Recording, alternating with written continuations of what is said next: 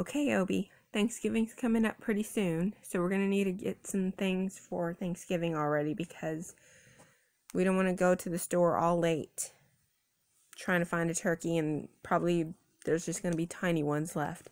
So I'm going to give you a list here. You're going to write it down for me. There's your pen. So write down, we're going to need an 18 pound turkey because we got some family coming over. Write down an 18, 18 pound turkey, please. Obi? Can you write down that we need a ham? Obi? Are you listening to me, Obi? We need to get this done. Can you write it down for me, please? Obi?